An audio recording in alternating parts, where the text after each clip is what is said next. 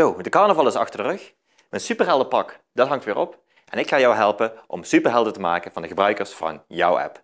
Mijn naam is David van der Loo van App Specialisten. En ja, wat is dat nou, een, een appheld? Waarom open je die video als het gaat over apphelden? Ja, het maakt je misschien nieuwsgierig. Ik zal je vertellen waarom het belangrijk is om een succes te maken van je app. Het zit namelijk zo, we weten dat apps zich pas snel gaan verspreiden als mensen echt mond tot mond gaan doorvertellen hoe gaaf ze een app vinden.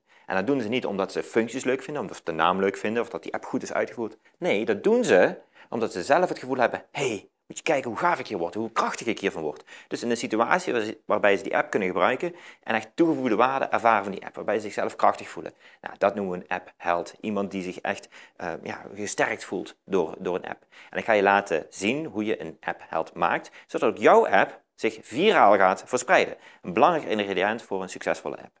Oké, hoe gaat dat nou?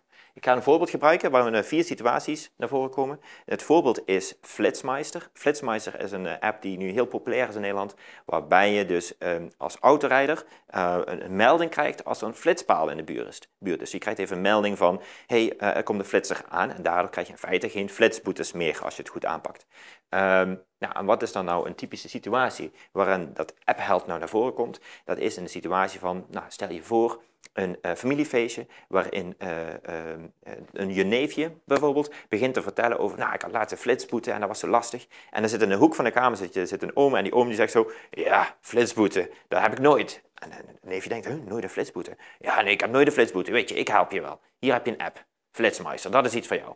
Het mooie is dat die oom is op dat moment de held. Hij gaat iemand anders redden. En die situatie waarin hij doorvertelt in de familiesfeer, eh, ja, dat is een situatie waarin dat dus veel wordt doorverteld onder vrienden of familie, waar het dan voorkomt.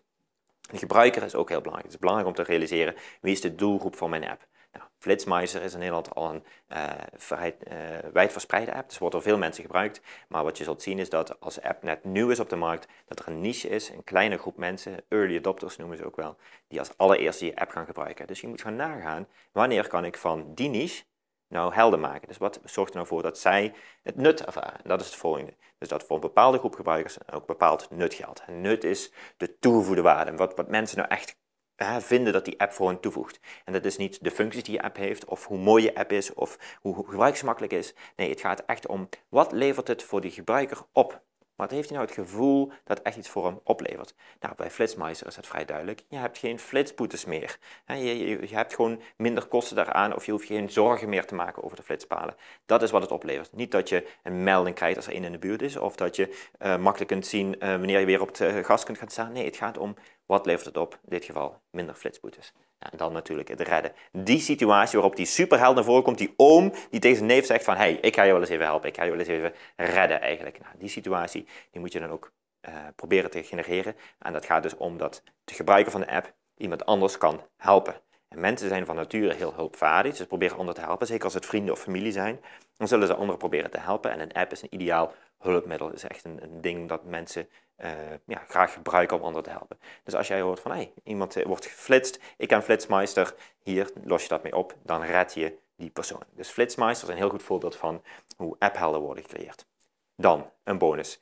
Super belangrijk is dat als je eenmaal die gebruiker van je app hebt, is dat je ook die gebruiker vasthoudt. Dus hè, je hebt apphelden gecreëerd, iemand voelt zich even een held, gaat doorvertellen, maar dan heeft iemand die app dan wil je ook dat die, uh, die app blijft gebruiken. Nou, daar heb ik iets voor gemaakt om gebruikers ook langer in die app te houden. Dat noem ik het uh, gebruikersroutine uh, stappenplan. En in dit stappenplan kun je achterkomen hoe kun je nou gebruikers langer in je app houden en zorg je ervoor dat het routine gebruikt wordt.